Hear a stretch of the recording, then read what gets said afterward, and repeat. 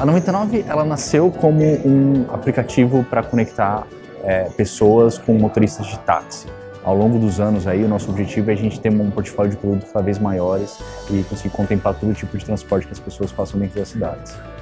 Quais são os perfis profissionais que nós buscamos? Pessoas apaixonadas, que acreditam que vão fazer a diferença no mundo, de fato. Então tem um propósito de trabalho, brilho no olhar, vontade de fazer, é, ownership, que a gente chama carinhosamente de 99ership. É, a gente acredita muito que a gente chegou onde a gente chegou, o sucesso que a gente tem até hoje, é graças às pessoas que a gente conseguiu colocar dentro da 99, o time que a gente construiu. Praticamente todas as vagas a gente aplica algum tipo de teste, alguma coisa para a gente conhecer um pouco melhor a pessoa. A gente faz avaliação cultural, porque a gente tem uma cultura muito forte aqui na empresa. A minha jornada aqui na 99, ela, ela foi muito rápida, na verdade, em termos de responsabilidade e de aprendizado. Acho que é uma característica muito comum entre essas startups que começam com um projeto que tem um valor, que tem um propósito e vai atraindo primeiro pessoas muito boas, pessoas interessadas e as coisas se transformam muito rapidamente da noite para o dia.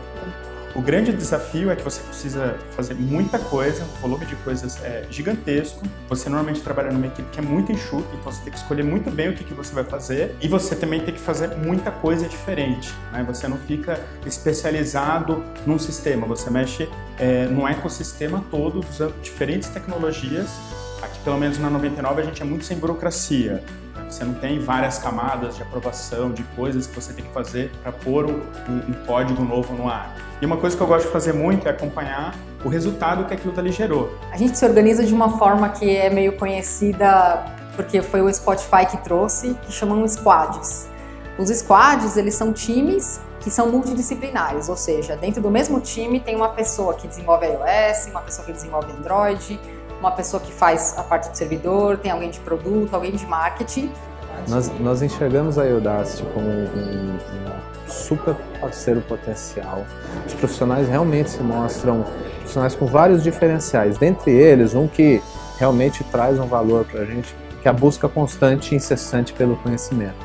Bom, as habilidades que a gente procura numa pessoa são é, Java, desejável Scala, ou Android nativo, iOS nativo, vivência com AWS da Amazon, conhecimento em metodologias ágeis e tra ter trabalhado num aplicativo de grande escala.